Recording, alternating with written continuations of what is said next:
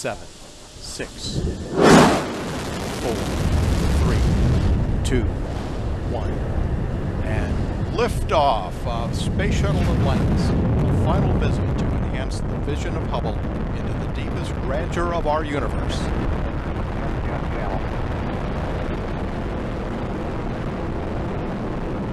Bypass across the board, Scooter, no action.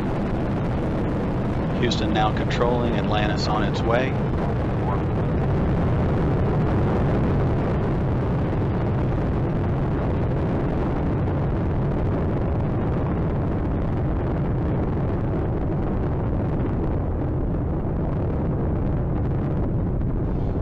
Atlantis on its way, all three engines now throttling down as the area begins, as the vehicle passes through the area of maximum dynamic pressure.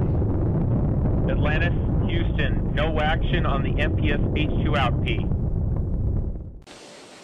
T minus 10, 9, 8, 7, 6, 5, 3, 2, 1, 0. And liftoff of Space Shuttle Atlantis on a mission to build, resupply, and to do research on the International Space Station. Houston now controlling, Atlantis begins its penultimate journey to shore up the International Space Station.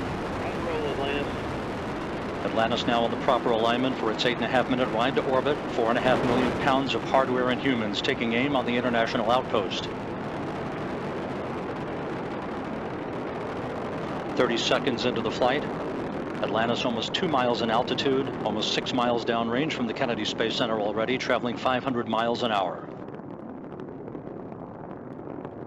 The three liquid fuel main engines now throttling back to 72% of rated performance, going into the bucket, reducing the stress on the shuttle as it breaks through the sound barrier.